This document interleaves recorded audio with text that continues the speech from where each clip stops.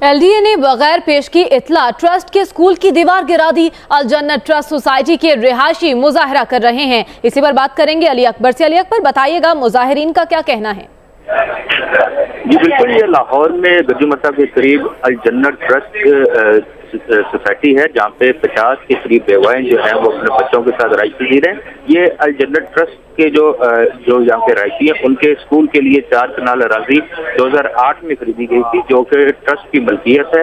آج جو ہے وہ ایل ڈی اے کی جانب سے بغیر کسی پیش کی اطلاع، نہ صرف اس کی دیوار گرائی گئی ہے، بلکہ زمین کے جو چار کنال یہ پلاٹ ہے، اس میں ڈگنگ بھی کی گئی ہے۔ اور ایل اے جو یہاں کے رائشی ہیں ان کو یہ خبردار کیا گیا کہ اگر انہوں نے کوئی شور مچایا تو وہ ان کے گھر بھی گرا دیں گے۔ رائشیوں کا یہ کہنا ہے کہ وزیر اعلیٰ پنجاب اور دیگر احکام جو ہے وہ اس پر فوری طور پر نوٹس لیں اور ایل ڈی اے کو اس قسم کی کاروائیوں سے بات کیا جائے۔ جی۔ جی ٹھیک ہے، شکریہ علی اکبر۔